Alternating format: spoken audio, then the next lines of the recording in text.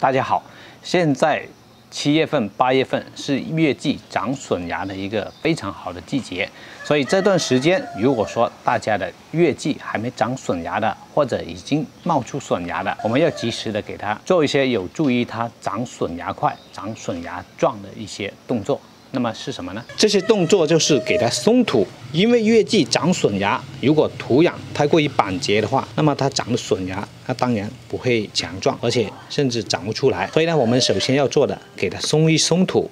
然后把这些松好的土壤呢，给它埋一埋这个月季的根部，把这些土围一围这个根部呢，让它这个根部更加容易吸收一些养分，而且呢。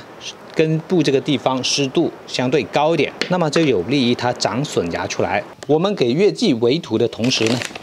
可以在周边这里加一点羊粪，顺便给它补点肥。这样的话，这个新芽长出来了，就可以吸收更加多的养分，而且这些羊粪呢，有利于这个土壤松化，不容易产生板结。那么这样的话，它这个笋芽会长得更加的快。更加的强壮，那么这些动作呢，就是可以让我们的月季长笋芽更加快、更加的壮的一些技巧。也希望呢这些方法对大家有用。我们下期再见。